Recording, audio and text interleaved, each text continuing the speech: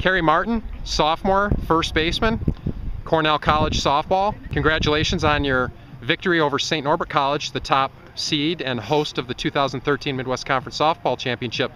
You were tied 3-3 going into the top of the seventh when your team ran off six runs, all with two outs, and you were a part of that rally with, with, a, with a big hit. Tell me what was going on there and what you guys were thinking. Um, we try to re- stay relaxed in all these situations, and it's always really exciting when we start getting runners on, and especially with two outs. You know, we just pushed, and um, we had um, some hitters come through in big situations, and that's what we need. Have you had a rally like that yet this year? Um, not quite like that one, but that was pretty exciting. Well, it was a great time to have it in a, in a, a really exciting seventh inning against the top seed St. Norbert that was hosting this tournament at their facility due to bad weather conditions. It's now being played down here on the campus of Lawrence University, at least for today, and that's the team you face in the winners bracket game later this afternoon. You met them at the Classic for one game. You're new, you're brand new back to the league again this year.